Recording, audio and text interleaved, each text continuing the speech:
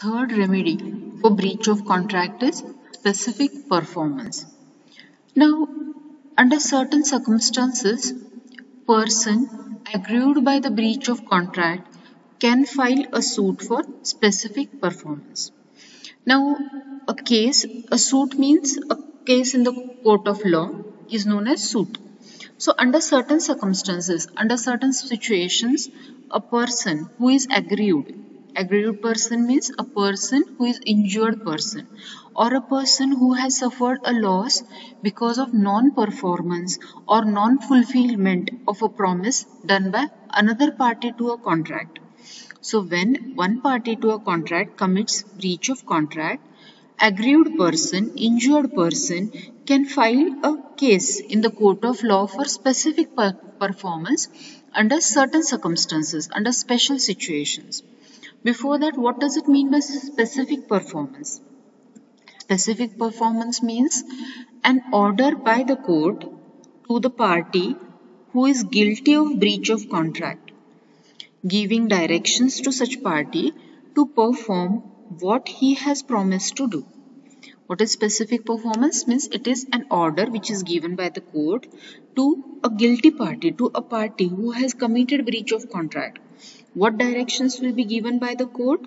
Directing that party to perform what he has promised to perform. So this specific performance is granted, is given by the court only in limited cases. Which are the cases in which the specific performance can be granted by the court. Only under special situations, certain circumstances, specific performance means the order can be given by the court to the party who is who has committed a breach to perform his part of contract. Whatever you have decided to do, do it. No paying compensation, nothing. Just do whatever you have agreed to do when it is granted where monetary consideration is not adequate remedy for the breach of the contract. So where because of the breach of contract how much loss is suffered by the aggrieved party, injured party, it cannot be measured in terms of money. It cannot be measured in terms of monetary loss. In that case, court may give an order to the party who has committed breach to perform what they have agreed to perform. And a case where there is no standard exists for ascertaining actual damages caused by non-performance of the contract.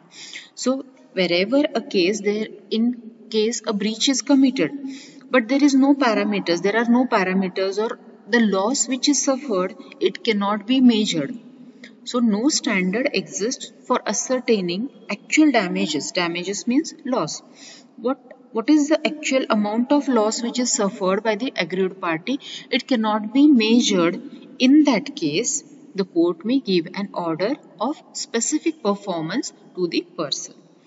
Specific performance may not be granted by the court. When court will refuse specific performance, where contract is of personal nature, and where damages means monetary compensation is an adequate remedy in that case court will not order specific performance upon the party who has committed breach of contract so sometimes specific performance is asked for two marks definition in section A. What do you mean by specific performance? So what is specific performance? It is an order given by the court upon the party who is guilty of breach of contract. By giving an order, the court is directing him to perform what he has promised to do. So whatever you have agreed to do in the contract, do the same thing. That order has been given by the court in specific performance. Next remedy in case of breach of contract is injunction. Now what does it mean by injunction? So sometimes in questions while writing answers, in answer sheet students write injunction. So it is injunction, I-N-J-U-N-C-T-I-N. Now what is injunction?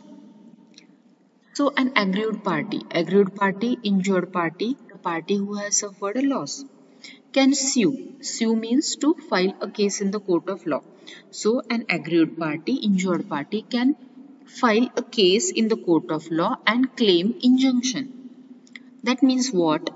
Injunction is an order of the court to restrain the wrongdoer from doing or continuing the wrongful act complained of. So, injunction means the court is giving an order to whom? To the person who is wrongdoer. He is doing something wrong.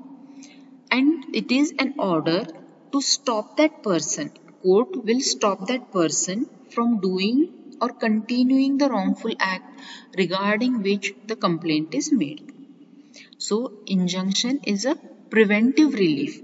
Preventive relief, it prevents the wrongdoer, the person who is doing something wrong, to stop that person from committing further wrong. Court is giving order to that person not to do a particular thing. That is called as injunction. Injunction is a preventive relief.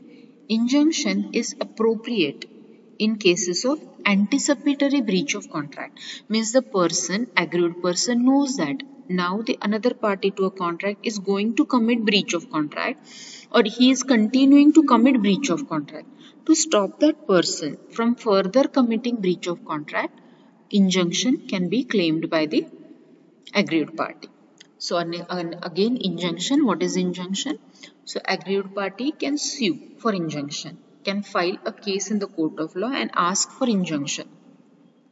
What is injunction? It is an order of the court to restrain, to stop, to prohibit the wrongdoer, the person who is doing something wrong, from doing it or continuing the wrongful act regarding which the complaint is made.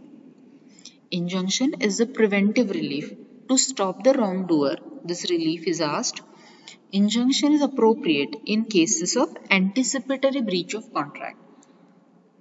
So there is a case law on this point, Warner Brothers versus Nelson. In this case, what had happened? So there was an actress, N. Nelson was an actress and she agreed, she entered into contract with a company, Warner Brothers, and in, as per that agreement she agreed to act exclusively only for Warner Company for one year. There was an agreement between company and actress Nelson and in that she agreed that she will act exclusively only for that company for a period of one year. During the year, she contracted to act for X company. So before expiry of that year, one year, she also contracted, entered into contract with another company, X company. So here she had agreed to act in that company for one year, exclusively in that company. Before completion of that one year, again she entered into contract with another company. That is something she has committed a breach of contract. She was doing a wrong act, wrongful act by acting for X company. She entered into contract with that another company also. Now, what is the remedy for Warner Brothers, this company? So, company filed a case against an actress for injunction. Means to stop her from acting for X company. So, Warner Brothers filed a case against Nelson to stop her from acting for X company till the expiry of that one year. So, this is the case law. On this case law, how a case study is asked. Radha entered into a contract with Krishna Movies.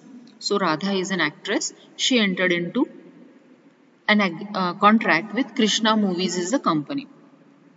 And she promised that she would act in the movies produced by them for two years. She agreed that for two years she will act only in their uh, with their company and no other any other company. But during this time, she also entered into contract with Balram Films. Is it a valid contract? It is not a valid contract because she has agreed to act exclusively for Krishna movies for two years. Before expiry of two years, she cannot act with any other company.